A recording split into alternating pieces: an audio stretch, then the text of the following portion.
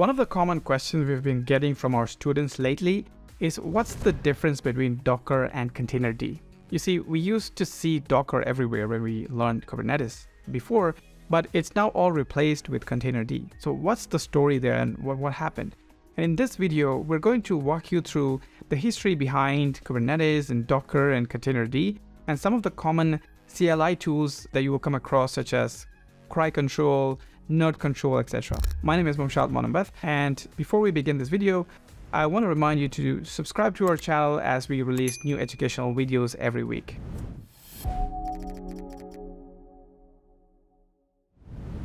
So you're going to come across Docker and Containerd many times um, going forward. So when you read older blogs or documentation pages, you'll see Docker mentioned along with Kubernetes. And when you read newer blogs, you will see Containerd, and you'll wonder what the difference is between the two.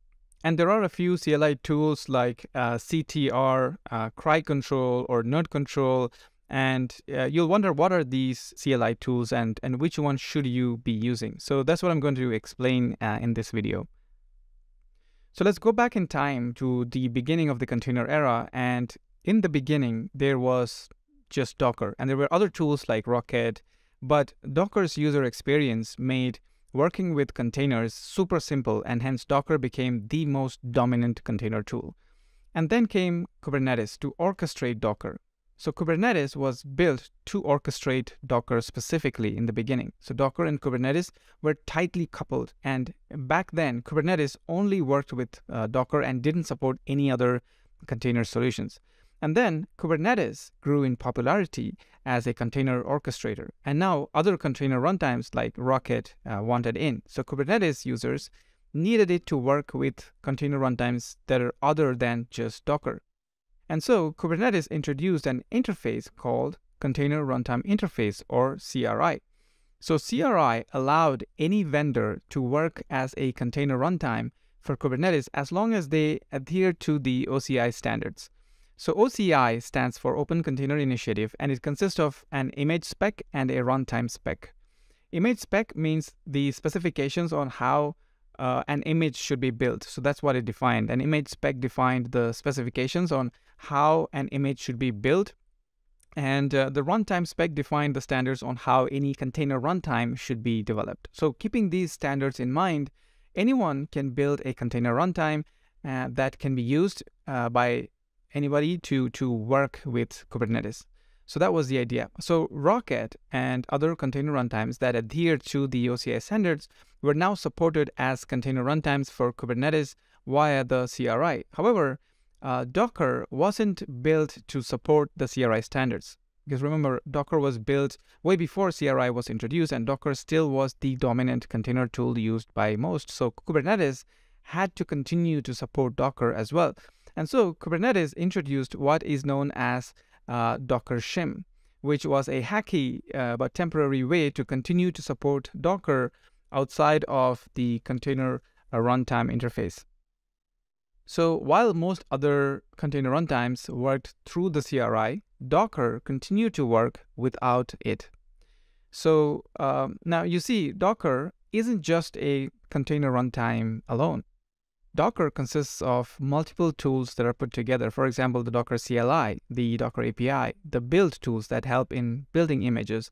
There was support for volumes, auth, uh, security, and finally, also the container runtime called runc and, and the daemon that managed runc, and that's that was called as containerd. So containerd is CRI compatible and can work directly with Kubernetes as all other runtimes. So containerd can be used as a runtime on its own, separate from Docker. So now you have containerd as a separate runtime and Docker uh, separately. So Kubernetes continued to maintain support for Docker engine directly. However, having to maintain the Docker shim was an unnecessary effort and added complications. So it was decided in version 1.24 uh, release of Kubernetes to remove Docker shim completely and so support for Docker was removed.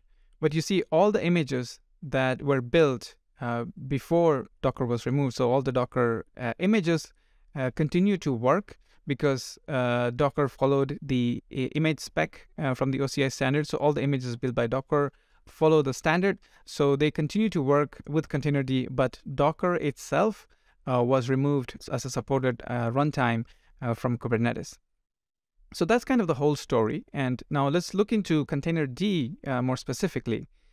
So Containerd, although it's part of Docker, is a separate project on its own now and is a member of CNCF uh, with the graduated uh, status. So you can now install Containerd on its own without having to install Docker itself. So if you don't really need Docker's other features, you could ideally just install Container uh, D alone. So typically we ran containers uh, using the Docker run command uh, when we when we had Docker. And if Docker isn't installed, then how do you run containers with just uh, Containerd? Now, once you install Containerd, it comes with a command line tool called CTR, and this tool is solely made for debugging Containerd and is not very user friendly as it only supports a limited set of features. Um, and this is what you can see in the documentation pages for for this particular tool. So for the other than the limited set of features that it provides, anything any other way that you want to interact with Containerd, you'll have to rely on making API calls directly, which is not the uh, the most user friendly way for us to operate. So just to give you an idea, this can be the CTR command can be used to perform basic container related activities such as pull images. For example, to pull uh, Redis image, you would run the CTR images pull command followed by the address of the image. And to run a container, um, we use the CTR run command and specify uh, the image address. But as I mentioned, this tool is solely made for debugging Containerd and is not very user friendly and not to be used for running or managing containers on, on a production um, environment. So a better alternative recommended is the Nerd Control tool or nerdctl tool. So the Nerd Control tool is a command line tool that's very similar to Docker. So it's like a Docker-like CLI for Containerd. It kind of supports all or most of the options that Docker supports, and apart from that, it has the added benefit that it can give us access to the newest uh, features implemented into Containerd. So for example, we can work with the encrypted container images, a rather new feature that will eventually be implemented into the regular Docker commands in the future. It also supports lazy pulling of images, P2P image distribution, image signing and verifying in namespaces in Kubernetes, which is not available uh, in, in Docker. So the nerd control tool works very similar to Docker CLI. So instead of Docker, you would ideally simply have to replace it with nerd control. So you can run almost all Docker commands that interact with containers uh, like this. So uh, some examples are instead of running the docker run command to create a container, to run a container, you could just uh, use the nerd control run command. And similarly, uh, let's say you want to use some options for port mappings or exposing ports uh, with the dash p option uh, for the docker run command, you could do the same with nerd control. Simply replace docker with nerd control. So, so that's pretty easy and straightforward. So now that we have talked about CTR and the nerd control tool, uh, it's important to talk about another command line utility known as CRI CTL or CRI control. So earlier we talked about the container runtime interface or CRI, which is a single interface used to connect CRI compatible container runtimes the Containerd, Rocket, and others. So uh, the CRI control is a command line utility that is used to interact with the CRI compatible uh, container runtime. So this is kind of an interaction from the Kubernetes perspective. So this this tool is kind of maintained by uh, developed and maintained by the Kubernetes community, and this is uh, this tool works across all the different container runtimes. Um, as opposed to earlier, you had the CTR and the nerd control tool that were built by the Containerd community specifically for Containerd.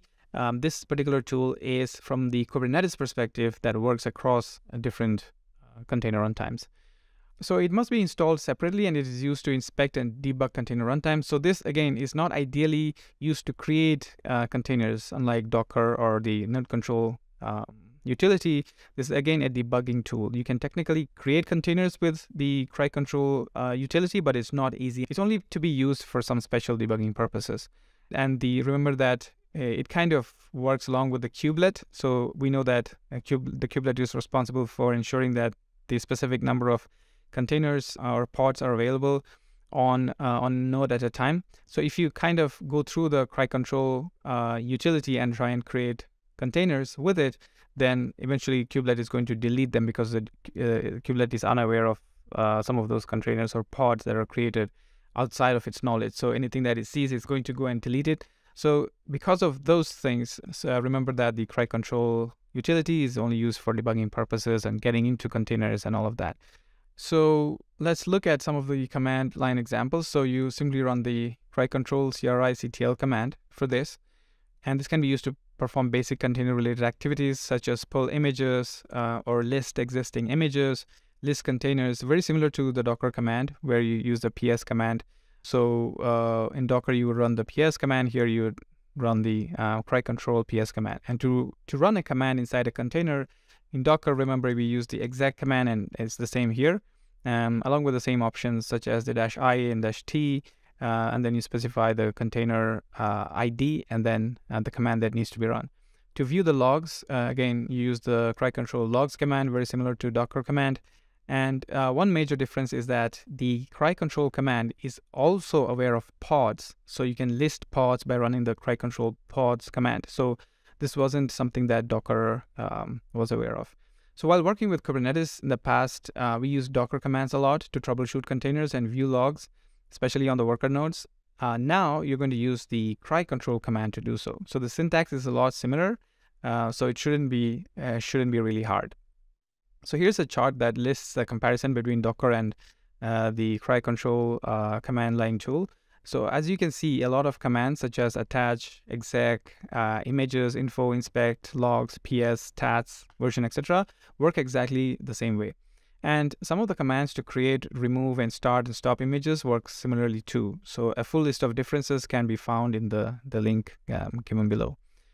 So um, since, as I mentioned, cry control can be used to connect to any CRI compatible runtime, Remember to set the right endpoint if you have multiple container runtimes configured, or if you want cry control to interact with a specific runtime. So for example, if you haven't configured anything by default, is going to connect to these uh, sockets in this particular order. So it's going to try and connect to Docker shim first, and then containerd, and then CRI-O, and then you have the cry uh, Docker D. That's that's kind of the order that it follows.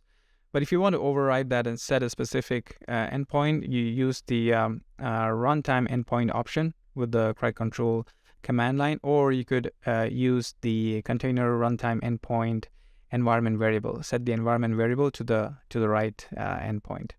So to summarize, we have the CTR command line utility that comes with containerd and works with containerd, which is used for debugging purposes only and has a very limit, limited set of features. So ideally, you wouldn't be using this at all. So you can kind of ignore this. Then we have the nerd control CLI, which is again from the containerd community, but this is a Docker-like CLI for containerd used for general purpose to create containers and supports the same or more features um, than Docker CLI. So this is something that I think we'll be using a lot more going forward. And then we have the um, cry control utility, which is uh, from the Kubernetes community, uh, mainly used to interact with CRI compatible runtime. So it's not just for containerd. This can be used for all CRI supported uh, runtimes. Again, this is mainly for to be used for debugging purposes. So if you look at the comparisons here, you can see that CTR and cry control are used mainly for debugging purposes, whereas the nerd control is used for general purpose. The CTR and nerd control uh, are from the containerd community and works with containerd whereas uh, cry control is from the Kubernetes community and works across all CRI compatible runtimes. So our labs originally had Docker installed on all the nodes, so we used the Docker commands to troubleshoot, but now it's all containerd, so remember to use the, um, the cry control command instead to troubleshoot. Thank you for watching this video. If you liked our content, do like and share in your community, and don't forget to subscribe to our channel as we release new videos every week.